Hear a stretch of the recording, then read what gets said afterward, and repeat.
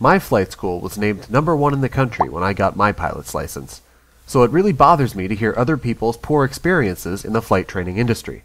So today I'm making you this video to show you the top 5 ways that flight schools cheat their students.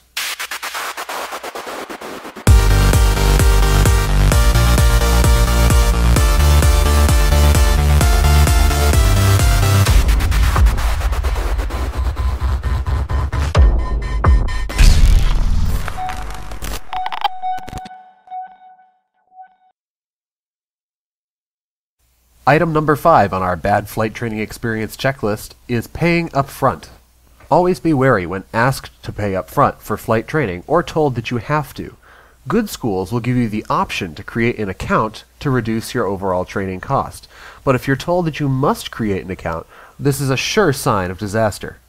I've heard of several schools that will charge $10,000 for a private pilot's license up front, and if you look at their contract, it's non-refundable. If you finish your license early or decide to go somewhere else, that money is gone forever. Or even worse, the school can decide to close at any time and take your money for a road trip to Vegas. If your school does offer a discount program for opening an account with them, make sure you read the contract carefully and you're allowed some privileges like full refunds given 30 days notice. Number 4. Skipping on maintenance.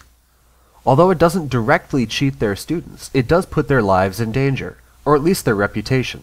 Most schools aren't nearly this bad, but I recently heard a story about an instructor who sent their student for their private pilot check ride in an airplane that hadn't been annualed in years. At the time of your private pilot exam, you are technically the pilot in command, or PIC, so it is your responsibility to determine whether the aircraft is airworthy for the flight, including all inspections, maintenance, and documentation.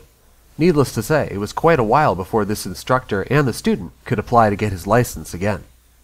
In most cases, margins in flight training are just so close, the fastest way for flight schools to cut their losses is to reduce their maintenance costs.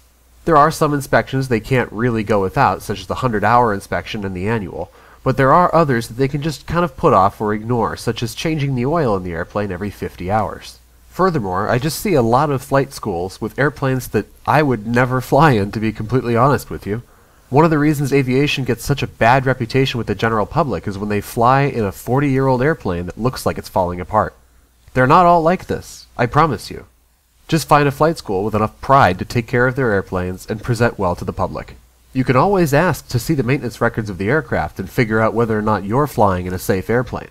But think about it this way if you have to ask, you probably don't want to know. Number 3. Being told you're not ready to solo.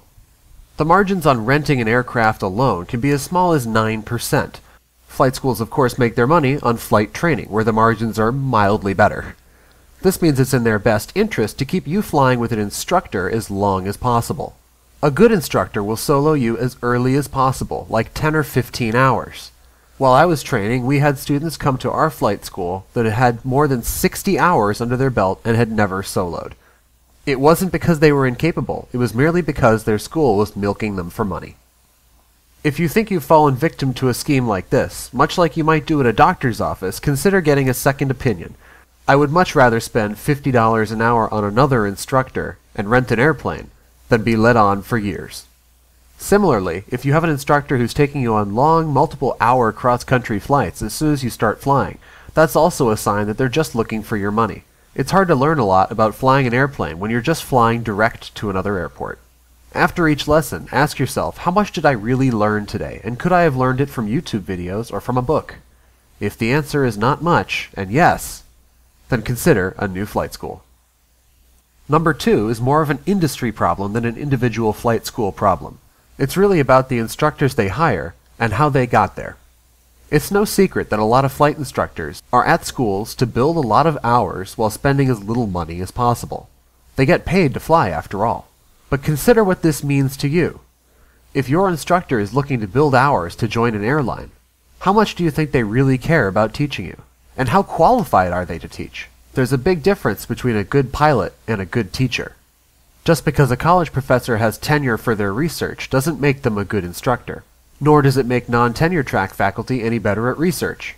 Unfortunately, there's no quick solution for you. I wish I could tell you, just look for young instructors, just look for old instructors, look for part-timers, but there really is no way to tell. You have to fly with them ahead of time, get somebody else's recommendation, or try several instructors until you find the one that feels right for you. On top of this, there's usually a fundamental problem with how flight schools hire their instructors to reduce their operating costs.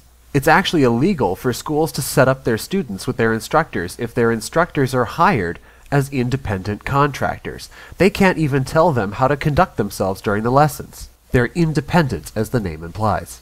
If your school is engaging in significant misconduct in the hiring of their instructors, consider reporting them to the Aircraft Owners and Pilots Association, the AOPA, and lastly, by hiring instructors that are trying to move on as soon as possible, students are often shuffled between multiple instructors between their lessons, whoever's available at the time. This leads to having really disjointed lessons, and ultimately learning a lot less in a lot more time. At number one on our list, I've saved my personal favorite story for last. A new student walks into our flight school on a beautiful summer day and asks our chief instructor, Are we going flying today? To which he responds, Of course, why wouldn't we? The student gestures out the window and says, But there are clouds outside. It turns out their previous instructor would cancel a lesson in favor of ground school any day that wasn't perfectly clear. This is a lesson to us all to ground yourself in whatever training you're doing. Make sure you have friends you can talk to about it in the industry and get your information straight. If you're like me and drove over an hour to get to your flight school, this can be a major bummer to get to the flight school and find out that there's an aircraft down for maintenance or that the weather's not sufficient for flying that day. But they do it in hopes of charging you for some ground training. Talk to your instructor early on about their weather minimums. You'll notice that when they sign your solo endorsement, they also have to put these down.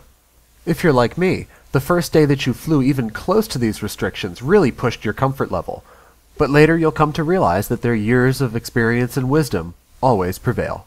That is, if you go to a good flight school. All of the stories that I've shared with you today come from my experience in aviation, so I urge anyone with a bad flight training story to leave a comment below, and everyone to share this video with your friends in flight training. It's up to us to hold flight schools to the highest of standards and not settle for any less ourselves. That's it for today, guys. I'll catch you next time on the Friendly Skies channel. And always remember, squawk VFR and have fun.